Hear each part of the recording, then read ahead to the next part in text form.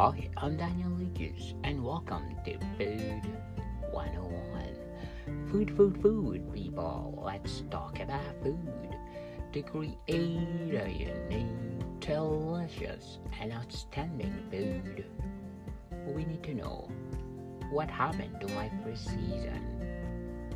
My first season, I talk about the different kind of cuisine. I talk about French cuisine, Italian cuisine, Japanese cuisine, and Spanish cuisine. In total, I have 201 episodes, and my podcast can be heard in 41 countries. My avid listeners listen to my podcast between 5 a.m. to 11 a.m. in the morning. And I have now 35,000 download and I'm counting to a million.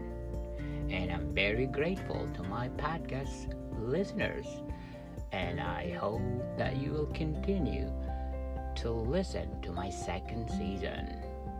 I promise that my second season will be more interesting, more interviews, and more facts about food and me.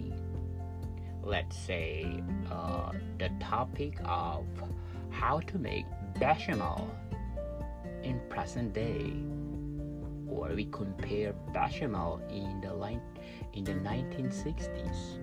Now at the present, we have a modern bechamel procedure to make better, to make more delicious, to make more distinctive than the original bechamel.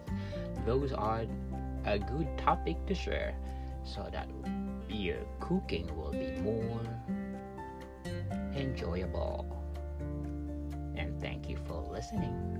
Welcome, people. See you soon.